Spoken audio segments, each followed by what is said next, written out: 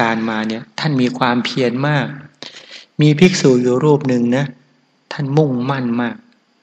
ท่านมุ่งมั่นในการประพฤติปฏิบัติพอสมควรนี่นะทีนี้มีโยมนะมีโยมที่เป็นอุบาสิกาท่านหนึ่ง แล้วก็พร้อมด้วยลูกสาวศรัทธามาก ก็เรียกพระนี่ว่าเป็นพระลูกชาย ก็คือนับถือก็เรียกลูกพระลูกชาย แล้วก็บอกลูกสาวว่าเป็นนันพี่ชายของเจ้านะ ทีนี้ทุกวันพระก็จะออกไปบิณฑบาตเนี่ย ท่านก็ออกไปบิณฑบาตเป็นปกติของท่านนี่แหละ ทีนี้มีอยู่วันหนึ่งวันนั้นท่านห่มผ้าแต่เช้า ท่านหิวท่านเนี่ย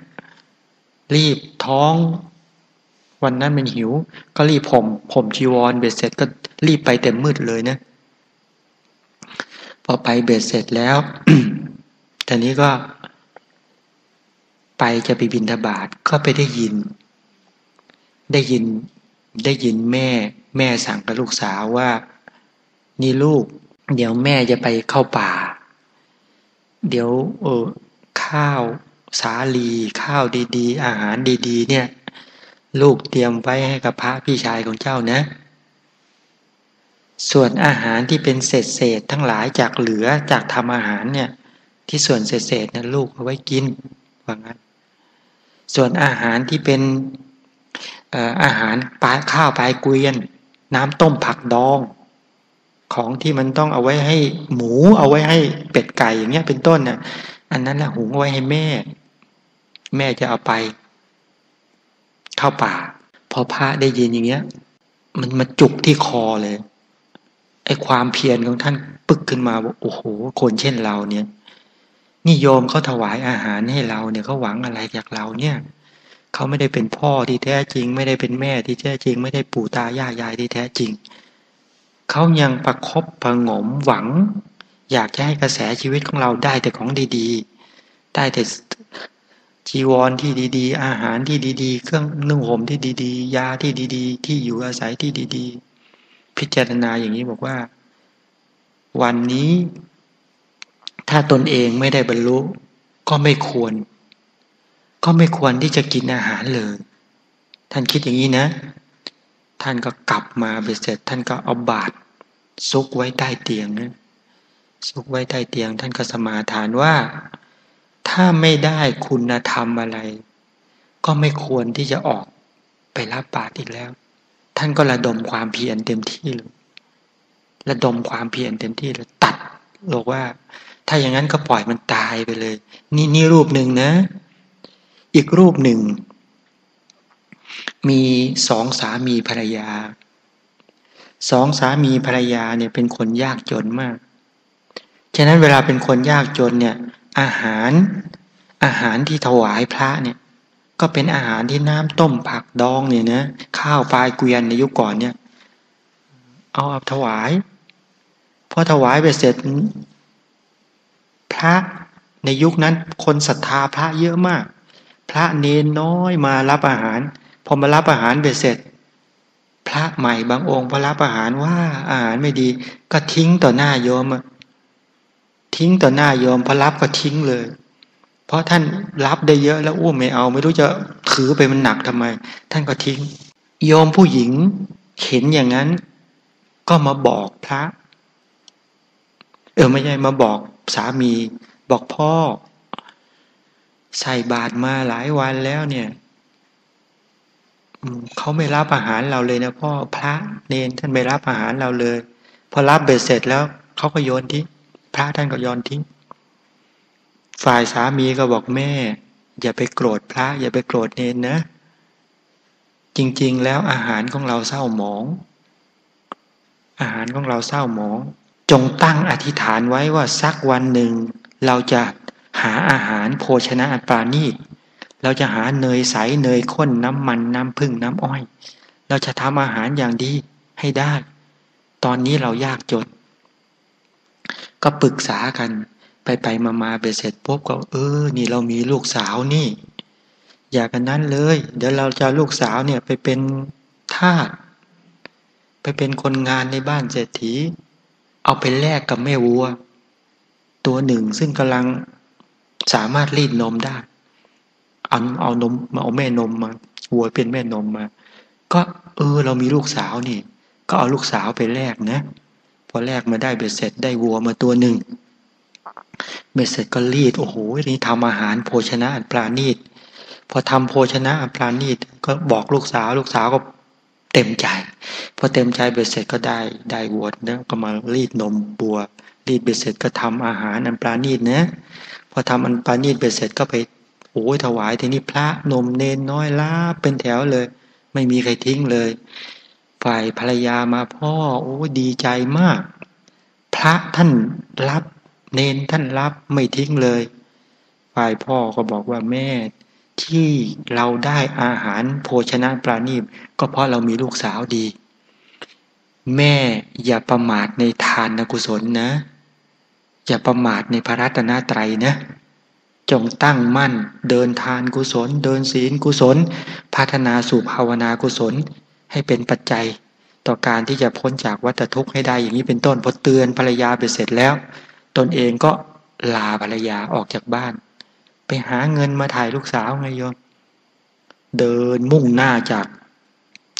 จากเมืองนี้ เดินไปไปหารับจ้าง ในยุคนั้นไปรับจ้างอะไร ในลังกาในยุคนั้นก็ไปรับจ้างตัดอ้อย เข้าไปอีกตำบลอีกอีกเมืองอีกจังหวัดหนึ่งก็ไปรับจ้างตัดอ้อยเขาไปรับจ้างกว่าจะได้ค่าวัวเนี่ย ในยุคนั้น รับจ้างอยู่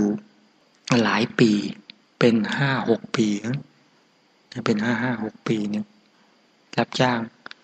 ได้เงินมาในยุคนั้นน่ะสิบสองกหาปณะซึ่งเยอะนะคำว่าประกาปณะก็เป็นเรือนผัก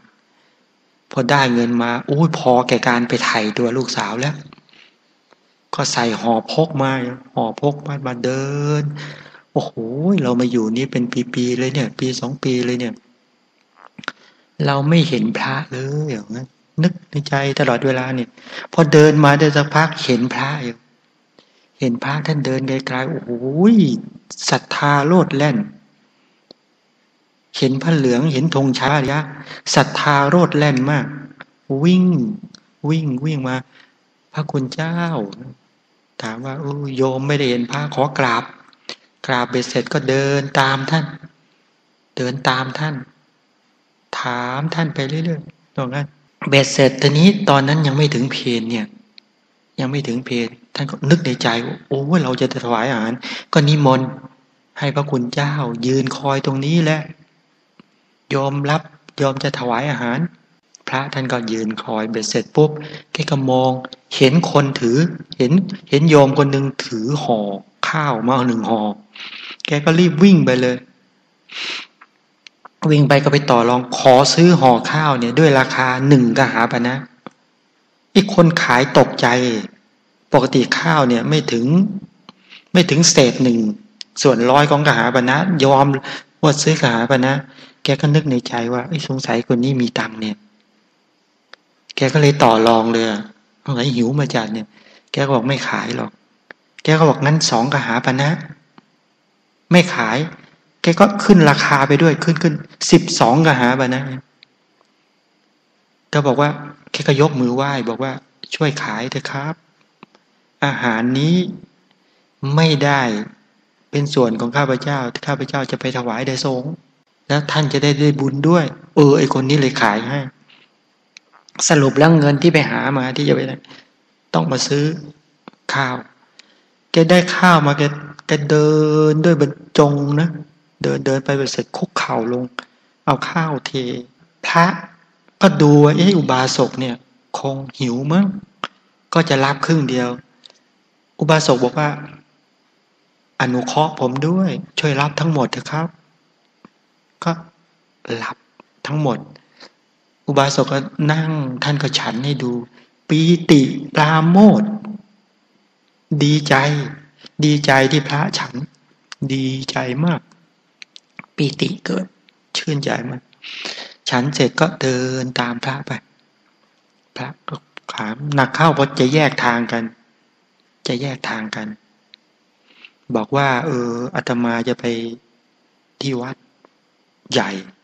เพื่อไปไหว้พระเจดีย์แล้วโยมจะไปไหน โยมก็บอกว่า ผมจะกลับบ้านครับ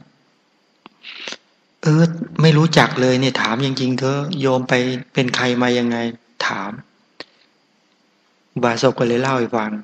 ว่า ตนเองอยู่กับสองสามีภรรยามีลูกคนหนึ่ง ถวายอาหารพระแล้วพระไม่รับเอาทิ้งยังไง ต่อมาเอาลูกสาวไปอยู่กับเศรษฐีได้วัวมาทำยังไงแล้วต่อมาตนเองไปรับจ้างตัดอ้อย ไม่เคยเห็นพระเลยเนี่ยได้เงินมาเนี่ยแล้วก็ได้เงินมาซื้ออาหาร ถวายพระคุณเจ้าโอ้โหพอพระฟังอย่างนั้นเนี่ยพระยืนยืนนิ่งนิ่ง แล้วอุบาสกก็กราบเท้าก็กลับไป ท่านท่านอยากจะเอาอาหารออกก็ออกไม่ได้นะ ท่านนึกในใจว่า อาหารในท้องมีค่ามาก ถ้าเราไม่ทำอริยคุณให้เกิดขึ้นเนี่ย เสียชาติเกิด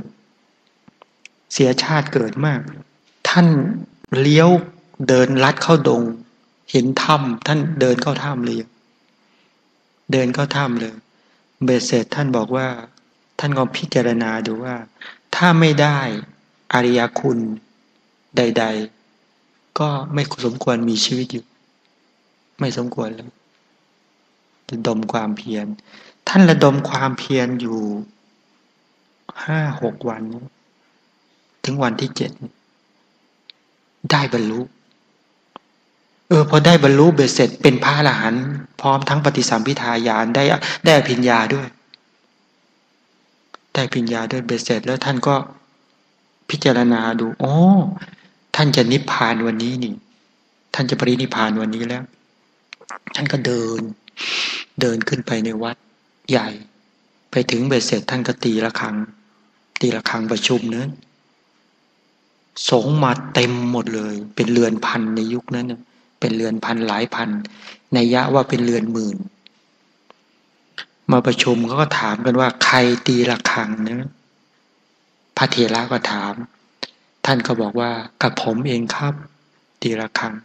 พระเทระในที่นั้นก็ถามว่าเออท่านตีระฆังด้วยเหตุอะไร ท่านก็เล่าให้ฟัง ท่านก็เล่าว่า โอ้ท่านเดินทางมา ท่านไปเจออุบาสกยังไง